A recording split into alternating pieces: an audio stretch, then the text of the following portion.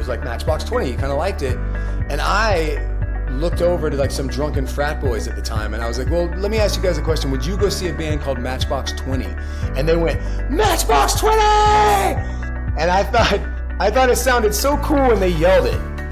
Hello, my friends, and welcome to the Paula Faris Show. Whether you're watching on YouTube, maybe you're listening on your favorite app or platform, I just want to say thank you so much for being here. These are going to be candid conversations to help you live your best life because life happens. So let's talk about it. This season, we are going to be digging into my big break, the big break of my guests. And episode one, kicking things off with Rob Thomas from Matchbox 20. I've been a huge fan of Matchbox and Rob since I was in college and I had the chance to interview he and his wife about 10 years ago when I was still at ABC News. But Rob talks about Matchbox 20 being on the chopping block and the song that saved them. He talks about the random jobs like construction, driving delivery trucks, waiting tables, all while he was waiting for his big break, and advice to any of you who are looking for that big break as well. He also talks about his best and his worst parenting advice. Without further ado, here's Rob. Addie, I'd like to introduce you to Mr. Rob Thomas. You look at you. Isn't she so cute? Rob, I know you oh love dogs. You I your, do. You got your little dog. Uh, uh, My little guy is asleep right there. He's asleep. He just got back in the vet. He's all mad.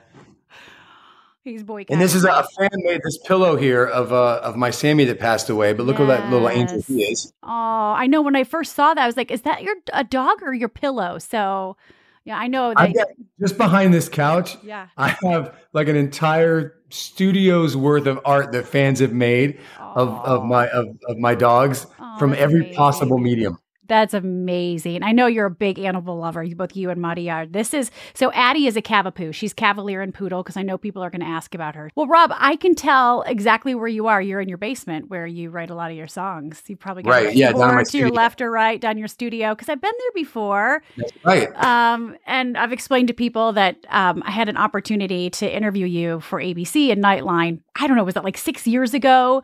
And got a chance to talk to you and your beautiful wife Muddy and you played some music for us. So it was, it's it's great to connect with you again. So, yeah, it's good to see you again. Yeah. So tell me, like, uh, what have you been up to? You just came, Matchbox Twenty just went back on tour. Uh, you guys are back out there. You produced some new music. You got a new album you're working on. Yeah. So we, um, you know, we weren't going to make a new record. We kind of thought that maybe that phase was over, and we were just going to tour a lot, and then every now and then put out a new uh, a song maybe yeah. when we tour. Um, and I was working on a solo record, but then when we canceled like for the third year, well, postponed for the third yeah. year, we felt like, you know, we, we had already set ourselves up that we wanted to be working that summer. We were already doing something. And we felt like now for fans to come back out the following year, we should have some new music. And so we started with the, you know, a couple more songs and then that turned into a whole album. Wow. And then uh, we, you know, we toured from I think May until maybe like two weeks ago. Wow. And uh, it was it was the longest tour that we've had, but one of the most successful too. So it was it was nice, you know, that to go back out and see all those people were still there. Yeah, you're one of those guys. I mean, you really engage with just about everybody. Like after a show, you are hanging around, not just talking to the guys and gals backstage, but like you're interacting with your fans. But I can imagine like getting back on the road after all this time. It was nice, but probably a little exhausting.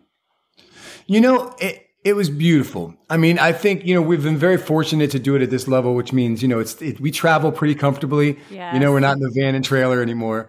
Um, everybody, everybody, like has their own bus, and everybody's you know, and it, it's and we we get along better than we've ever gotten along. So that made the tour way more pleasant. Yep. You know, it's just a bunch of people just having a really nice time and kind of appreciating why we're there and a lot less drama, a lot less, you know, everything wasn't so high stakes all the yeah, time. I mean, you guys have been together like a couple of decades. So, like, the, and yeah, it's been almost 30 years now. That's cr- okay. Now I feel old. Okay. So, you um, feel old. I, well, we're almost the same age. I think we're like three, two, three years apart. So, and Yes, I'm not going to say who's younger, who's older. Um, but Rob, I, look, take me back to the childhood. So I, I like, how did music begin for you? You grew up in Florida. You've talked about you had a pretty, pretty rough childhood. Um, music kind of became an escape for you. How did you? Why did you get into music to begin with? I mean, it's really weird because I, like there was nobody in my family.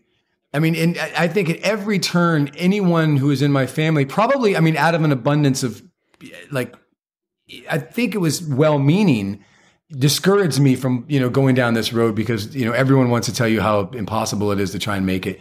But like because of you know the situations that i had found myself in at an early age i didn't have a lot of other options. Yes. And for some reason i met a group of people that that were playing music and and it just kind of spoke to me not, not just the the idea of playing music but this community that they kind of created amongst themselves and this family maybe you know they were kind of looking after each other in these ways that I had been lacking in certain mm-hmm. parts of my life I'd found this other group where I kind of belonged um, and I wasn't even writing at first. I was just singing other people's songs, some covers and and some stuff that like one of the guys in the band was writing. But I, I but like as soon as I started, I knew yeah. that was kind of this was the only thing I really wanted to do. What came first, like playing? Because I know you play the piano, you play a lot of you play a lot of instruments too, or singing. Like, so which one came first? I started singing. you know, I started to learn how to play the piano because my my mom would let the band rehearse at my house, and so I would always have the equipment there. Oh, I'm sure. So like, I'm just trying to imagine my kids bringing home a bunch of like artists and uh, guitar players and musicians and how loud it would be here. Yeah, I mean, we were that house, you know, like after it's it's almost like in the movie, you know, like we were that house where the you know after school the garage doors open and the band is just playing like a full garage band, yeah, you know. Yeah, yeah. Uh, and and it was really funny because, like I said, my mom was not the most supportive, but there was an odd twist where uh, where she let us take over, not only take over, but like we took half of the garage and we like we you know soundproofed half of it. We had like a full you know working rehearsal space in there that she let us have. So she wasn't always trying to block yeah. me off at everything so piano self, were you self-taught? Yeah i you know i started off i would start learning i would buy chord books you know and start learning chords. And then i would take song books of songs that i knew and learn those songs with all the chords and then find songs with new chords until i knew all those chords. And then I, uh, you know, the guy in my band was going to Berklee College of Music at the time, where my son just graduated from, yes. and he would have these music theory books, and so I would take some of his old music theory books and kind of read about notes and how they were relative to each other, and and were you know sight reading, even though I'm really bad at it. Yeah. So okay, so the first band was called is it Tabitha's Secret? Is that right? Well, the first band, like we had a few really bad cover bands. Like we were Fair Warning for a while. Oh my god! Uh, we were Bondage what? for a while. Um, and then I took like that was when I was in like high school, and so then I took a few years where I wasn't really doing much, but I started writing more and like really getting into the writing side of things. And that's when I started to put um, I wanted to put my own band together because I had these songs that I was writing that I wanted yeah. you know a band to play, okay. and that was where like the big shift started from like me just doing cover songs to you know me really focusing on writing. And so me and Brian and Paul, who were in Matchbox Twenty where we were also in Tabitha Secret with two other guitar players. And that was like where things started yeah. to get serious. Tabitha Secret, give me the backstory behind that name. It was honestly, there was some news article about a missing girl that had been found. It was kind of like one of those Jessica in the well kind of stories, yeah, yeah, you know? Yeah, yeah. And, uh, and, and her name was Tabitha. And so it was something that, that, that one of the other guitar players had come up with. I think between Tabitha the Secret and Matchbox 20, we have a knack for bad band names. Uh, well, nothing's worse than bondage, though. I mean, I know, I know. We really, I, and there, you know, like you see a bunch of these like kind of geeky kids wearing Cavariccis with earrings. We, yeah. we weren't living up to the name. Oh, that's hilarious. So Matchbox 20 formed in 1995. Uh, I was in college at the time. And where did you get that name? Where did you get Matchbox 20? How'd you go from Tabitha the Secret to Matchbox? So we were we had a record deal before we had a name. Yeah. Okay. Like so I got signed originally and the band Tab the Secret had broken up. So they signed me, but I wasn't comfortable kind of taking all that on on my own. So I brought Paul and Brian as well to sign. Yeah. So the three of us signed this record deal. We were still looking for guitar players and we needed a name. Um, and we went through 4,000 of them. I mean, over and over and over, just list after list after list. And one day Paul was, uh, he was a waiter at this place that we used to play at. And the story he tells was that he saw a guy with a jersey that had 20 on it and like a bunch of patches, and one patch was Matchbox, and he was like Matchbox 20. He kind of liked it. And I looked over to like some drunken frat boys at the time, and I was like, Well, let me ask you guys a question. Would you go see a band called Matchbox 20? And they went, Matchbox 20! And I thought, I thought it sounded so cool when they yelled it. I was like, I didn't want to hear it, you know. And at the time, like you'll understand this, like it, it we were, you know, being big MTV heads. Oh yeah. It, uh, it had to pass the Kurt Loder test, which meant like, could we imagine Kurt Loder coming on with MTV News and being like, you know, uh, Matchbox Twenty released a new album today, uh-huh. and we're like, yeah, it feels good. I like it. It does. It's. I mean, no. I always wondered like the origin of it. What was the? And it's somebody's T-shirt. Just how random. Yeah, it it's really funny. I mean, there was no, you know, there was no deep meaning behind it. And I, I, think, you know, now we're kind of with it, just like I'm Rob. Yeah. You know, that's just the way it works now. And now we're Matchbox 20. That's just who we are, whether we like it or not. It's worked. It's worked for a very long time, like you said, going on 30 years. So, Rob, when you look back at it, like, what was your big break in music to get to where you are? Or were there a multitude of them? What was your. What, what, I mean, there was a couple things. Like, you know, we came up in what we call the last good time, right? Which it was yeah. kind of the last group of musicians who still came about their success in a way that kind of started back in the 50s, mm-hmm. right? You, you got a band together, you made some songs, a guy from a label would come check you out. And if he liked you, you'd make a record, and that song, the, you get songs on the radio. And if you get enough songs on the radio, people come see you. You know, it was like you played in pretty, your mother's garage. I mean, that yeah, very old. Like everything about it was a very like the last kind of group of of old school before everything kind of changed. Yeah. you know, exponentially faster year after year. So we were lucky enough, A, that there was a guy named Kim Stevens who was from Atlantic Records who one once came to like a local music festival to see another band called Spider Monkey and caught us while we were there. And yeah, don't laugh. Spider Monkey was the big band. And uh, oh, I know just the names. and they uh and he was like, you know, you guys don't have it yet. But he kept coming back every few months. Whenever we'd have a show, he would just appear sometimes and keep checking us out until he kind of felt like we were getting somewhere. And then when we broke up, that he was the guy that said, "Listen, I think you've got good songs. I think I, you know, I can trust your songwriting."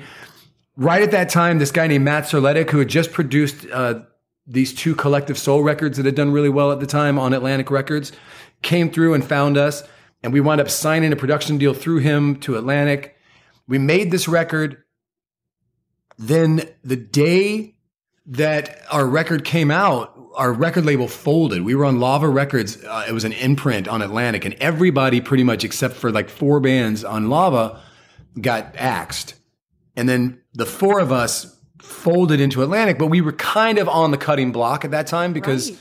You know, we didn't we didn't have any proven success. Our record came out that day. That first week, we sold a whopping 612 copies oh of the record. Gosh.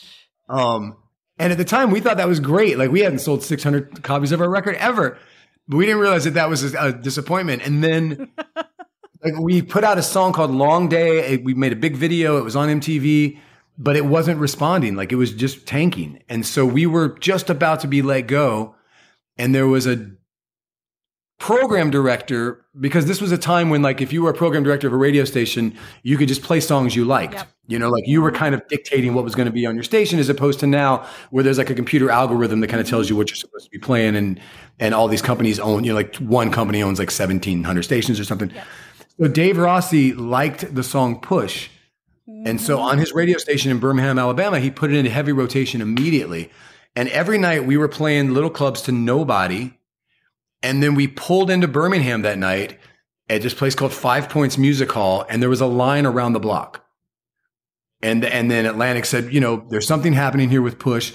They released Push, and it started immediately to respond, and then everything kind of went from that point on there. So it was like this it was a convergence of a bunch of happenstances, right? That had to happen yep. in succession. And even sometimes like the things that happened that we thought were like big blows to us and setbacks turned out to be, you know, put a lot of wind in the sail. Yeah. If we had been on lava, maybe it wouldn't have been as good as being on Atlantic Records, you know, yep. if, if, you know, our first band, we, when that band broke up, there was a lot of contention. There's a lot of litigious uh, just stuff that was going on.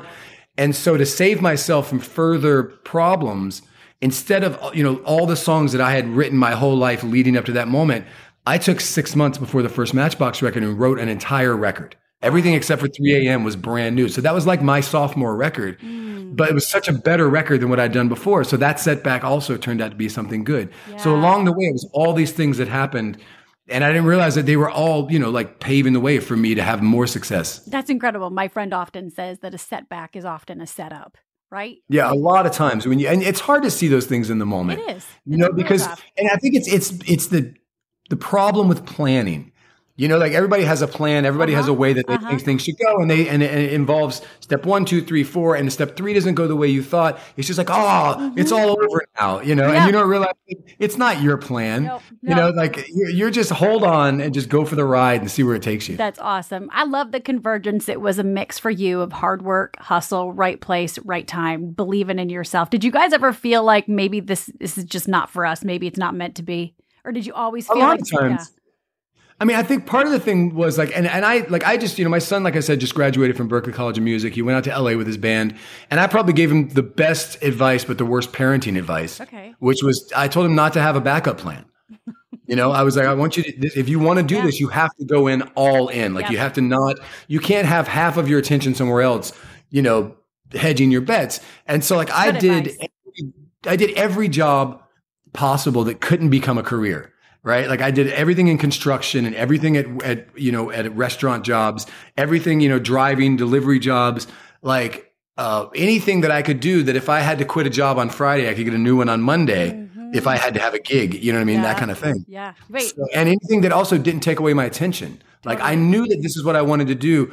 Like I, I don't even know if I have a good work ethic. I just know that I have a good work ethic when it comes to doing this. I'll work 16 hour days you know, I'm gone nonstop because it's just something I love so much. Yeah. So that advice that you gave to your son, Mason, right? Is that he's 25? Mason, yeah.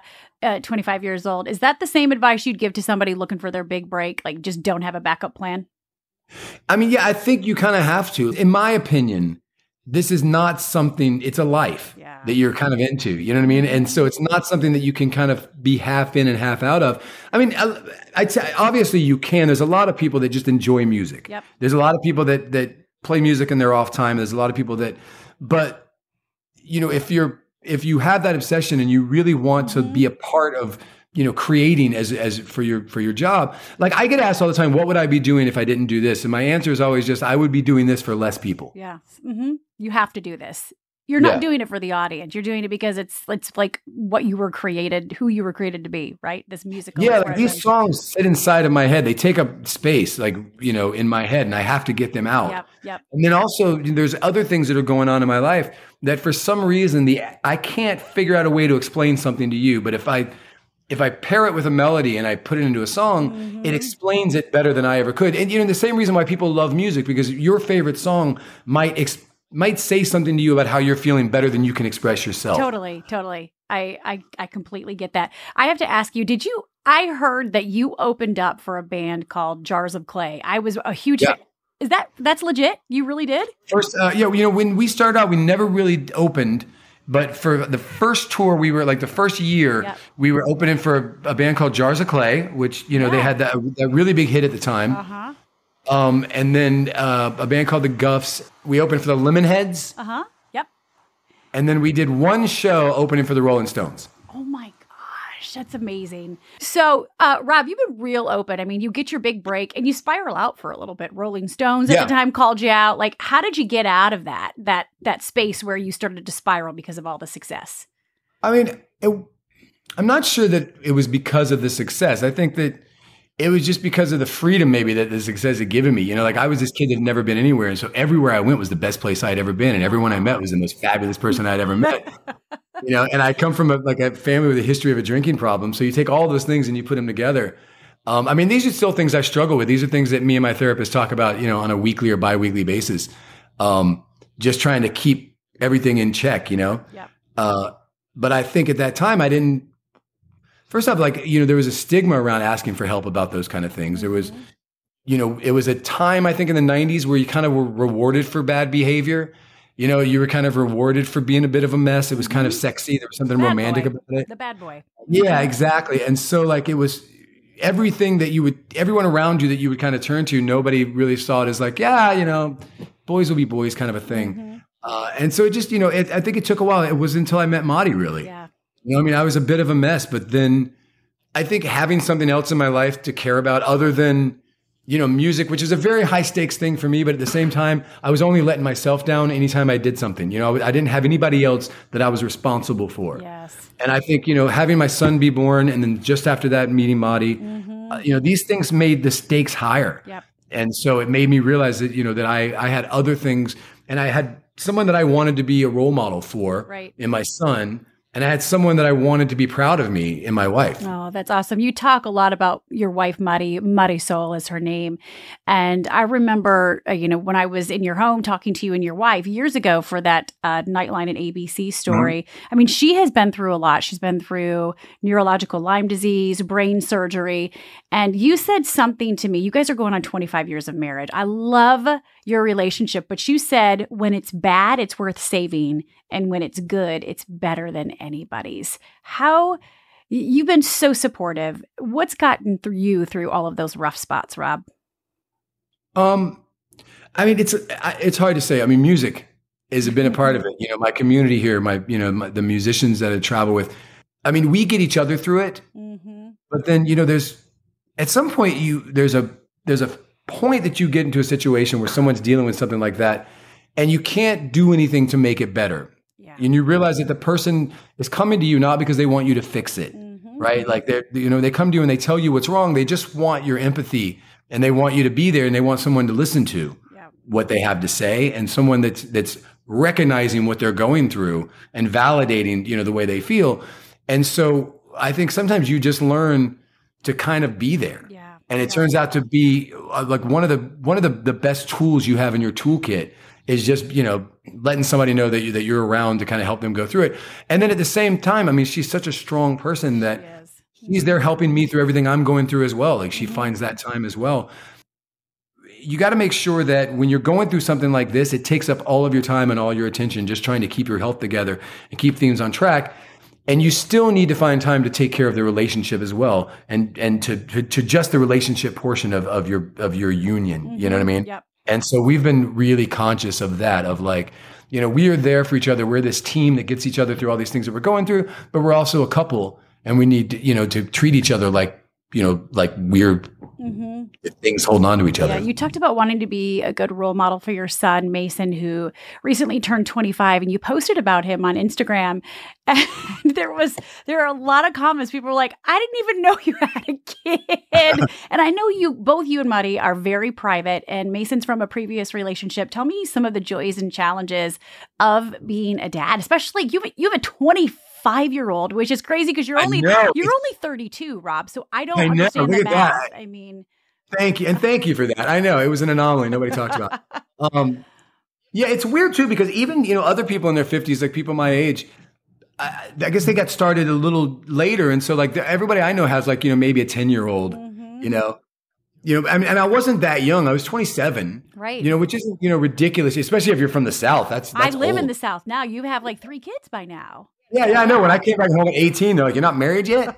Um, but uh, you know, it was it was there was a lot there because I was gone a lot for my job, even more than I you know than I am now. Because at that time, you have less control over everything. You you're just kind of riding it out.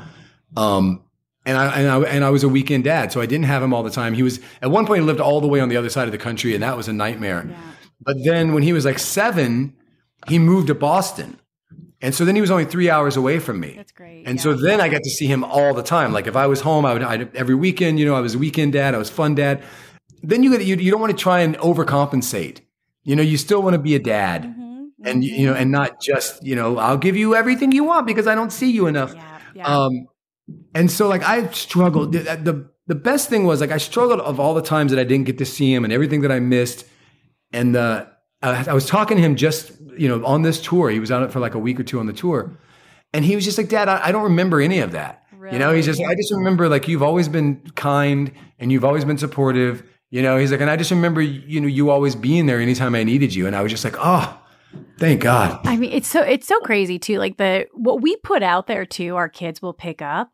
Like we don't yeah. like we we feel all of this guilt about not being there for every single moment and then you have to make up for it with gifts and lavish them. But like we're not going to harm our kids if we have passions. you know what I mean? If we're yeah. on the road for work too. But um, yeah, I mean, I, I think if anything, you know, my son has seen what this means to me, and that's why he's put his whole life into it. Yeah. And and you know, I I was a I wouldn't say suspect, but I was curious about how it was going to go and how serious he was going to take it. And you know, going to Berklee is it was a big step, but mm-hmm. it's also a huge expense if it's not something that he wants to do. Yeah. And uh, And watching him through those four years just really blossom. He spends all of his time rehearsing, all of his time just building and getting better and stronger and writing. And so, you know, I feel like this is this is something that I think he could be really, really good at. Yeah, did, have you given him some um, possible names for a band like Tabitha's Secret or Bond Right. Bondage? Say, son, I've got, Yeah, I've got, a, I've I've got a long Lots of advice. I've given him lots of advice, and he's ignored all of it. And, and that, shows, that shows that he knows exactly what he's doing. Except for the advice you gave him about not having a backup plan. He's like, I will listen to that. So Yeah, I know that was an easy one for him to take. I know, seriously. I figured that without a backup plan, the worst case scenario is that I'm going to have a 30 year old son living on my couch for a little bit. And, and that's a small price to pay for like helping him find his dreams. He can he can join the dogs. Um, okay, we're gonna go through. Also, you know it's funny? Uh, so I'm going back out with my solo band next year. I'm Okay. starting. I'm putting, putting together a new solo record, and uh, I have a few like corporate gigs and one-offs and charity gigs and stuff coming up. Yep. Mason is actually going to be the guitar player in my band. Stop it. That's amazing. Yeah. That's awesome. What a proud moment. Will this be like really the first time the two of you have shared a stage together?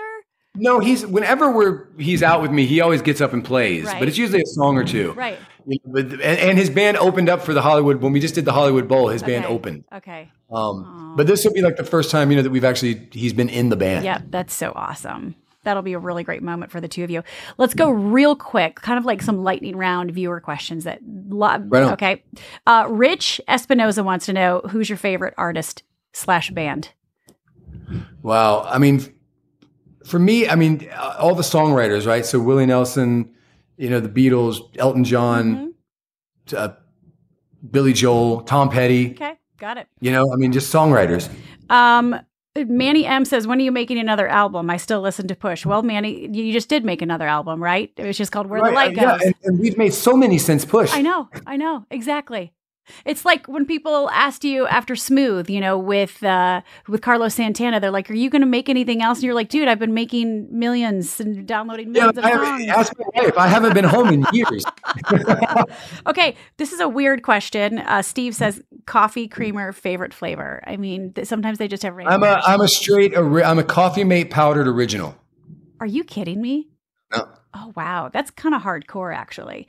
I'm, you know, that's that's pretty. That's that's uh, that's some pretty you know white trash southern stuff right I there. didn't want to say it, but you said it for me. Um, Salma just says, Thank you for your musical talent. I love this question. Catherine says, Can you give me your thoughts on the Barbie movie using push? And of course, you know, if, if you haven't seen the Barbie movie, everybody, I know some people love it, some people hate it. I loved it. Ryan. I just saw it yesterday. what did you? Okay, so Ryan Gosling. Let me tell people. Like, let's tell people what Ry- Ryan Gosling is. Play, he's covering like kind of a hilarious cover of Push after he and Barbie are on the rock. So, what did you think about his cover? I mean, you know, it's it's weird. On one hand, you you feel like you know, like Paul, I think said, you know, that you're the you're the soundtrack for the patriarchy, but then you know, but there, there was a lot of layers going on there. Yeah, you know, I thought, and and just watching his beautiful mouth sing my song made me really happy. Um, I thought he. I thought he was fabulous. what's really funny is I'm not allowed to promote Barbie because of the SAG-AFTRA thing. Okay. So like during all the time when everything was going on, we can't say anything at all, and we're just like, "Well, we we got this thing going on. Oh, but it's pretty awesome, and and it's not lost on all of us Matchbox Twenty fans. So Yeah, that movie got heavy really quick. it got heavy real quick, but I enjoyed it. I thought it brought up some necessary conversations, you know, and like I'm not promoting it, no, but I love. it. no, you don't have to promote. it. You can you have an opinion about as a person whether or not you can like it. But okay, Rob, I think that's really all I got for you. I mean, this has been great to catch. Oh, what's going on with the light? You losing power? No, I had for some reason my TV just popped on.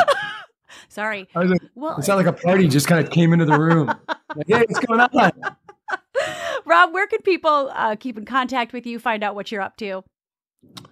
Uh, well, you know, I mean, uh, Rob Thomas, uh, my Instagram usually kind of lets everybody know what's going on, or anything with you know through through uh, robthomas.com or matchbox20.com to kind of find out what's happening.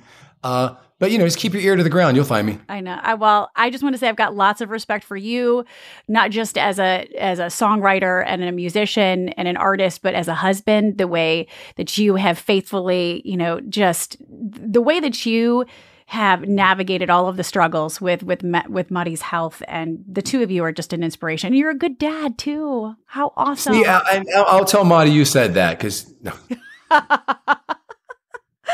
Oh, well, it's been great to, to, connect with you again. And Addie wants to say goodbye. Addie, you want to say goodbye to me? Any questions for Rob? Ollie, you want to say bye? Oh, now, now, now puppy perks up. What's, oh. what's his name? Ollie. Ollie. Oh, hi, Ollie. He's like, he's like, I see a cute dog. She's, she's a little young for you, Ollie, but you know, we'll see. I can't tell you how much I enjoyed that conversation with Rob. Maybe if you want to reach out to him on social and say, hey, love the conversation, uh, give him a shout out. I want to be generous with our guests on this show. And speaking of guests, next week you might know her from One Tree Hill or maybe from country music. I'm talking to Jana Kramer about her big break, giving herself another chance, and the love that she didn't expect to find. That's all next week. Oh, one more thing. Is this still on? Yeah, it is. If you're watching on YouTube right now, hit that subscription button or wherever you're listening, make sure you subscribe so that you don't miss a beat. And invite your friends. Let's spread the word and let's talk about it.